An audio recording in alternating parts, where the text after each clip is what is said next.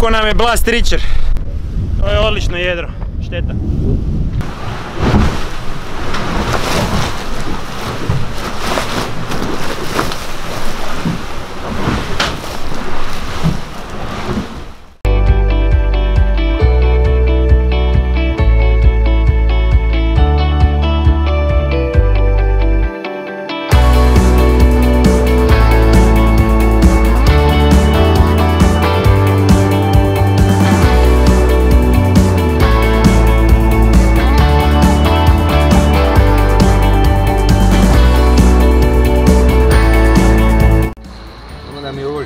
Žena vidim, skužit će da znam pred sude.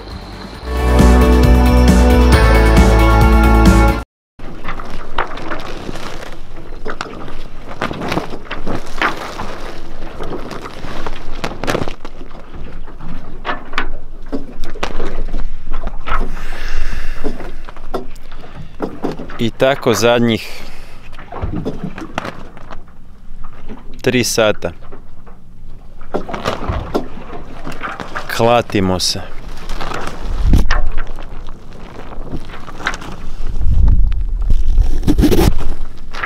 Tu već stojimo 5 sati.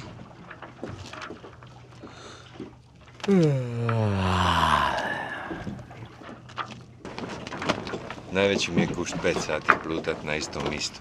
Sa vjerovatnošću da će to tako nastaviti sljedećih 5 sati. A? Kje gušt? Evo, ja sam se već lagano odspavao 2 sata. A u međuvremenu je naš dragi Damir Čargo uživao malo u ničemu. Jedan, jedna umjetnost, istočnjačka umjetnost uživanja u ničemu. Jer e, to je jedna stvar koja nema smisla. Takozvano klatarenje. Evo termika puni.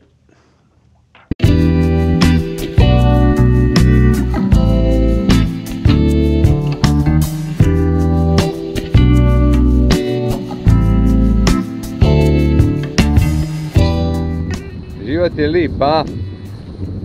Prekrasan. Dok puše. I dok je žučo gore. I dok žuti gura.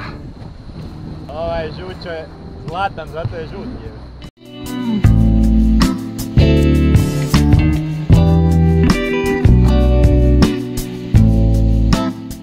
Danas mi žena ima rođendan, pa nek ostane zapisano čestitu sam je rođendan. Elin, sretan rođendan. Bravo, bravo, pravi si muž. Znate šta? Najbolji način da zapamtite rođendan vaše supruge je to da, je, da ga zaboravite jedan